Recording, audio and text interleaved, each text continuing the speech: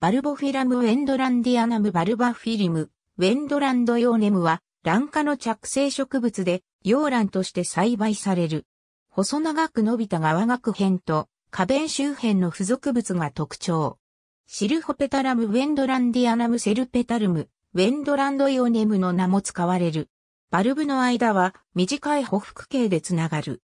バルブの大きさは2から3センチメートル。卵形でその表面は当初は葉鞘に包まれるが、後に露出する。先端に1枚つく葉は、長さ10センチメートルくらいになり、黄緑色で、楕円形、先端は丸まり、基部は少しだけ、傭兵のように細くなっている。花は新芽が出るときに同時に出る。花茎は、バルブの基部から出て、葉鞘をくぐり抜けるようにしてその先から伸び出し、葉よりも上に抽出し、その先端に1から3輪の花を輪生状につける。花は細長くて長さ10センチメートルほどになる。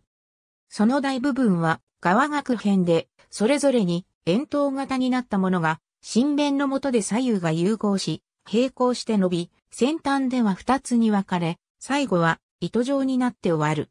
新弁はごく小さい。側花弁は小さいが三角で左右に張り出し、背角辺も三角で上向きに尖る。また、背角辺と側花弁の円には、扁平な毛のように突き出したフリル状の装飾物が並び、特にそれらの化け皮辺の先端部には棒のように集まる。これらの装飾物と新弁、それに側学辺は基部に関節があってわずかな風にも振動する。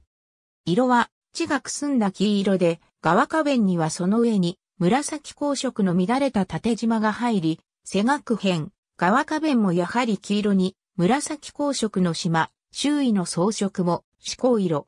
タイからミャンマーにかけての産地帯に分布する。